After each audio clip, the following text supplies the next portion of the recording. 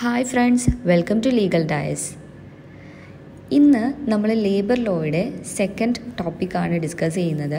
നമ്മൾ ആ first video കാണാത്തവരാണെങ്കിൽ അതൊന്ന് കണ്ടു നോക്കുക. അതിൽ നമ്മൾ ഇൻട്രൊഡക്ഷനും അതുപോലെ തന്നെ ഇൻഡസ്ട്രിയൽ ഡിസ്പ്യൂട്ട്സ് ആക്ടിൽ വരുന്ന അതോറിറ്റീസ് എന്തൊക്കെയാണെന്നാണ് പറഞ്ഞത്. അതിനി നമ്മൾ ഡീറ്റെയിൽഡ് ആയിട്ട് ഈ വീഡിയോയിൽ പറയുന്നതാണ്. അതിൽ നമുക്ക് ആദ്യത്തെ ഫസ്റ്റ് പോയിന്റ് വർക്ക്സ് കമ്മിറ്റി എന്നുള്ള പോയിന്റാണ് നമ്മൾ പറയാൻ പോകുന്നത്.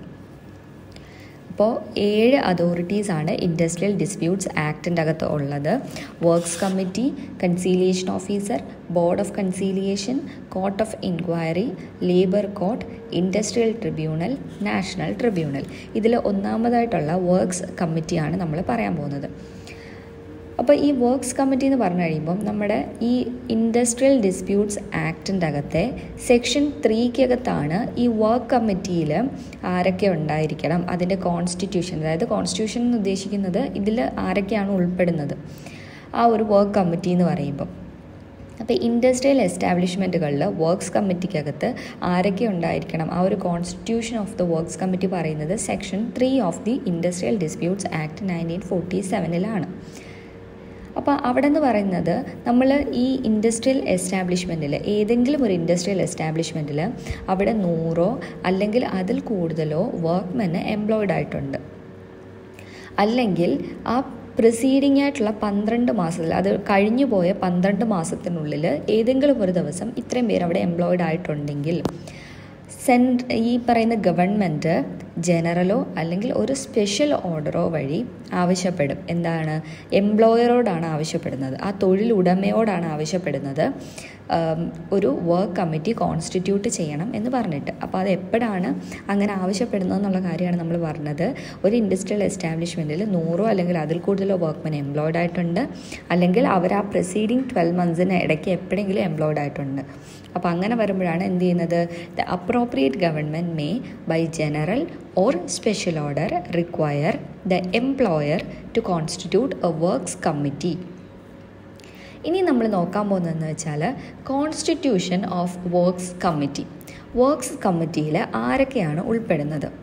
അപ്പോൾ the committee shall consist of representatives of employers and workmen engaged in the establishment ആ ഒരു ഇൻഡസ്ട്രിയിൽ അല്ലെങ്കിൽ ആ ഒരു എസ്റ്റാബ്ലിഷ്മെന്റിൽ ഉൾപ്പെടുന്ന അവിടെ ആ ഒരു വർക്കിൽ എൻഗേജ്ഡ് ആയിട്ടുള്ള വർക്ക്മെനും അതുപോലെ തന്നെ എംപ്ലോയേഴ്സിന്റെ റെപ്രസെന്റേറ്റീവ്സുമായിരിക്കും നമുക്ക് ഈ ഒരു കമ്മിറ്റിയിൽ കാണാൻ കഴിയുന്നത്. അപ്പോൾ എംപ്ലോയേഴ്സിന്റെ റെപ്രസെന്റേറ്റീവ്സും കാണും വർക്ക്മെനിന്റെ റെപ്രസെന്റേറ്റീവ്സും കാണും. അവരുടെ പ്രതിനിധികളും അതിൽ കാണും. അപ്പോൾ ഈ ഒരു വർക്ക്മെന്റിന്റെ റെപ്രസെന്റേറ്റീവ്സിന് അവർ എത്ര ആയിരിക്കണം എണ്ണം എന്ന് പറഞ്ഞു കഴിഞ്ഞാൽ എംപ്ലോയറിന്റെ റെപ്രസെന്റേറ്റീവ്സിനേക്കാളും കുറയാനായിട്ട് പാടില്ല. ആര്? ഈ വർക്ക്മെന്റിന്റെ റെപ്രസെന്റേറ്റീവ്സ് എന്ന് പറയുന്നത്. അതുപോലെ തന്നെ ഈ വർക്ക്മെന്റിന്റെ റെപ്രസെന്റേറ്റീവ്സ് ഇപ്പം എംപ്ലോയർ എന്ന് പറയുമ്പോൾ അവിടുത്തെ തൊഴിലുടമയാണ്. അയാളുടെ അണ്ടറിൽ വർക്ക് ചെയ്യുന്ന ആൾക്കാരാണ് നമ്മൾ ഈ വർക്ക്മെൻ എന്ന് പറയുന്നത്. അപ്പോൾ വർക്ക്മെന്റിന്റെ റെപ്രസെന്റേറ്റീവ്സിനെ എങ്ങനെ ചൂസ് ചെയ്യും? നമ്മൾ എങ്ങനെ തിരഞ്ഞെടുക്കും എന്ന് ചോദിച്ചു കഴിഞ്ഞാൽ ഒരു അവിടെ ഒരു പ്രിസ്ക്രൈബ്ഡ് മാനർ പറഞ്ഞിട്ടുണ്ട്. അതായത് ആ ഒരു എസ്റ്റാബ്ലിഷ്മെന്റിൽ എൻഗേജ്ഡ് ആയിട്ടുള്ള ഒരു വർക്ക്മെൻ ആയിരിക്കണം.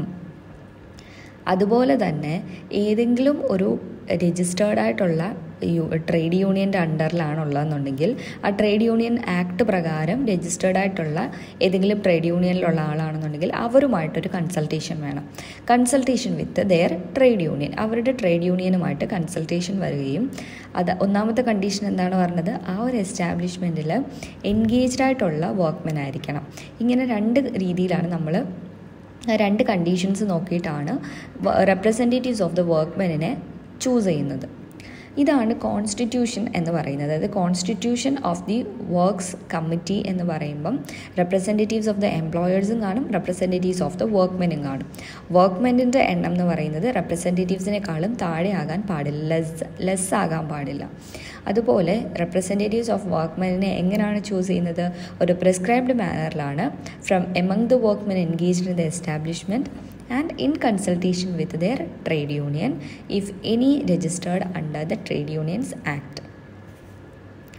അടുത്ത ഹെഡിങ് നമ്മൾ നോക്കാൻ പോകുന്നതെന്ന് വെച്ച് കഴിഞ്ഞാൽ ഡ്യൂട്ടീസ് ഓഫ് വർക്ക്സ് കമ്മിറ്റി അപ്പോൾ ഈ വർക്ക് കമ്മിറ്റി എങ്ങനെയാണെന്ന് പറഞ്ഞു. സെക്ഷൻ ത്രീ പ്രകാരമാണ് വർക്ക്സ് കമ്മിറ്റിയുടെ ഇത് പറയുന്നത് കോൺസ്റ്റിറ്റ്യൂഷൻ പറയുന്നത്. അതിനുശേഷം എപ്പോഴാണ് ഈ വർക്ക്സ് കമ്മിറ്റി ഫോം ചെയ്യുന്നത്? അതുപോലെ തന്നെ അതിന്റെ കോൺസ്റ്റിറ്റ്യൂഷൻ എന്താണെന്ന് പറഞ്ഞു.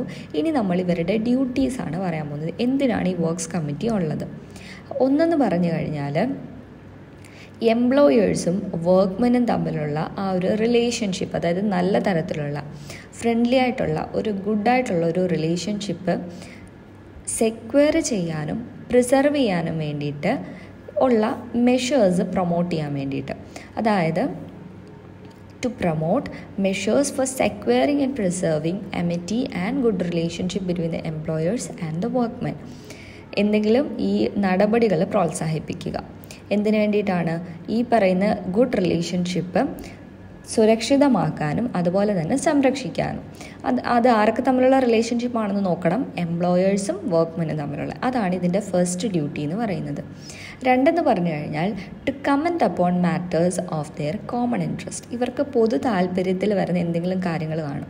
അങ്ങനെ പൊതു താല്പര്യമുള്ള കാര്യങ്ങളിൽ എന്തെങ്കിലും കമന്റ് പറയുക. To comment upon the matters of their common interest ഇനി മൂന്നാമത്തത് to endeavour to compose any material difference of opinion in respect of such matters അത്തരത്തിലുള്ള കാര്യങ്ങളിൽ ഇപ്പോൾ നമ്മൾ പറഞ്ഞല്ലോ കോമൺ ഇൻട്രസ്റ്റ് വരുന്ന മാറ്റേഴ്സ് അത്തരത്തിലുള്ള കാര്യങ്ങളിൽ എന്തെങ്കിലും ഒരു മെറ്റീരിയൽ ഡിഫറൻസ് ഓഫ് ഒപ്പീനിയൻ വന്നു കഴിഞ്ഞാൽ അതിനെ എന്താ അത് ക്രിയേറ്റ് ചെയ്യുക അവിടെ. അതാണ് to endeavour to compose any material difference of opinion in respect of such matters ഇങ്ങനെ മൂന്ന് ഡ്യൂട്ടീസാണ് അവിടെ ഒരു വർക്ക്സ് കമ്മിറ്റിക്ക് വരുന്നത്. ഇനി നമുക്കിതിൽ ഒരു ഇമ്പോർട്ടന്റ് ആയിട്ടുള്ള കേസും കൂടെ നോക്കാം. Northbrook Jute Company versus their workmen Northbrook Jute Company versus their workmen. ഇതാണ് കേസിന്റെ പേര്. അപ്പോൾ ഇവിടെ ഈ ഒരു കമ്പനി എന്താ ഒരു റാഷണലൈസേഷൻ സ്കീം ഇൻട്രൊഡ്യൂസ് ചെയ്യാൻ വേണ്ടിയിട്ട് ഒരു പ്രപ്പോസൽ നടത്തി. അപ്പോൾ യൂണിയൻ എന്ത് ചെയ്തു? യൂണിയൻ ഇത് എഗ്രി ചെയ്യുന്നില്ല. ഈ ഒരു സ്കീം എഗ്രി ചെയ്യുന്നില്ല.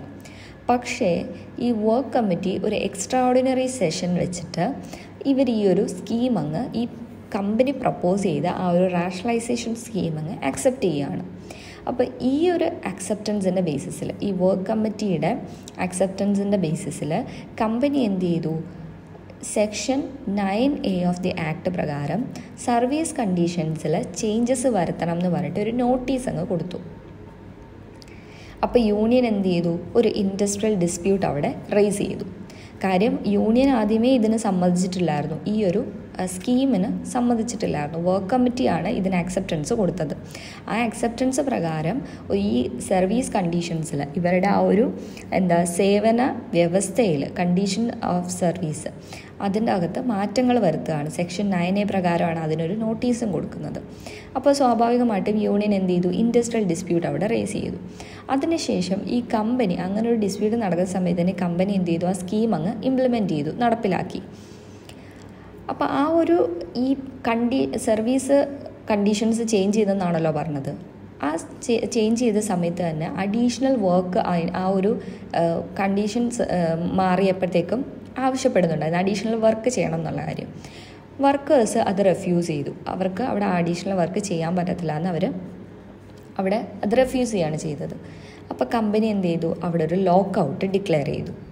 അതിനുശേഷം ഒരു നാല് ദിവസം കഴിഞ്ഞപ്പോഴത്തേക്കും ഈ യൂണിയനും കമ്പനിയും ഈ ഒരു റാഷണലൈസേഷൻ സ്കീമുമായിട്ട് ബന്ധപ്പെട്ട കാര്യത്തിൽ ഒരു സെറ്റിൽമെന്റിലെത്തി പക്ഷേ ഇവർ ഈ ലോക്കൗട്ട് പീരീഡിൽ വേതനം നൽകാനായിട്ട് എഗ്രി ചെയ്തില്ല. ഈ പാർട്ടീസ് എഗ്രി ചെയ്തില്ല.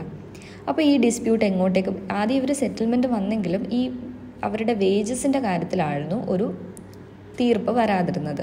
ആ ലോക്കൗട്ട് പീരീഡിൽ ഇവർക്ക് വേജസ് കൊടുക്കത്തില്ലെന്നായിരുന്നു ഇവർ പറഞ്ഞത് പാർട്ടീസ് പറഞ്ഞത്.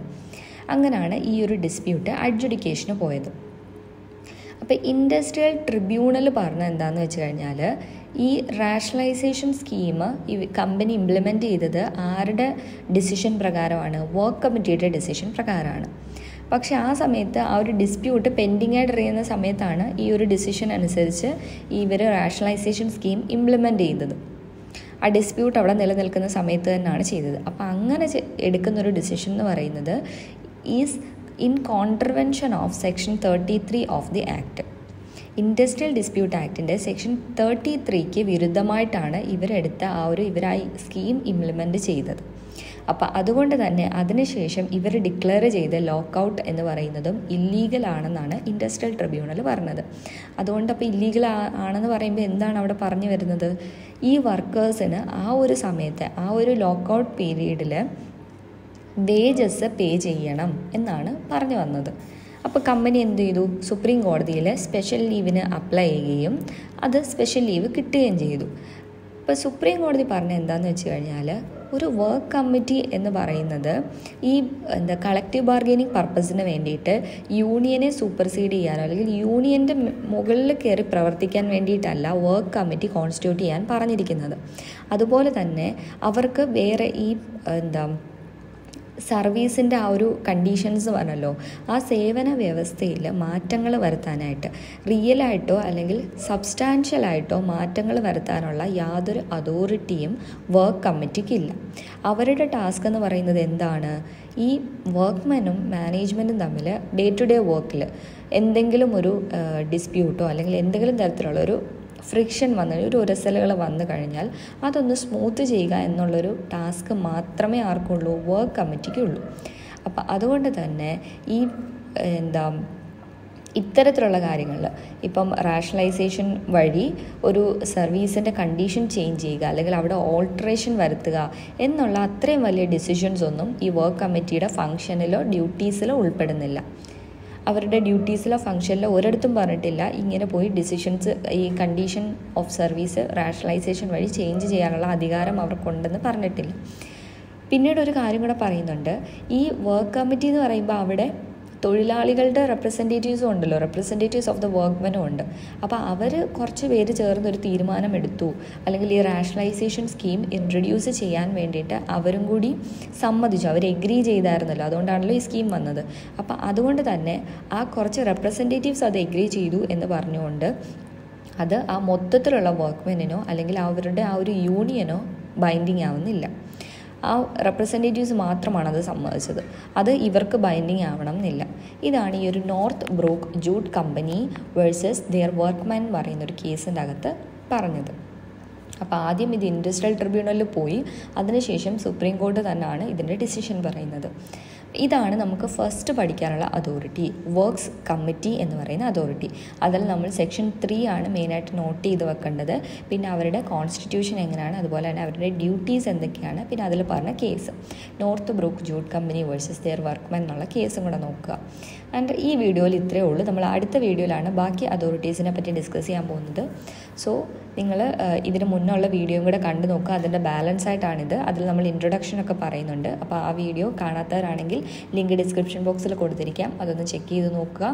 ആൻഡ് അടുത്ത വീഡിയോ ഉടനെ തന്നെ അപ്ലോഡ് ചെയ്യുന്നതാണ്. സോ ഫ്രണ്ട്സ് ഈ വീഡിയോ നിങ്ങൾക്ക് യൂസ്ഫുൾ ആയെങ്കിൽ ലൈക്ക് ചെയ്യുക. ആൻഡ് നിങ്ങളുടെ ഫ്രണ്ട്സിനോട് ഇത് ഷെയർ ചെയ്ത് കൊടുക്കുക. ആൻഡ് ഈ ചാനൽ മറക്കാതെ സബ്സ്ക്രൈബ് ചെയ്യുക.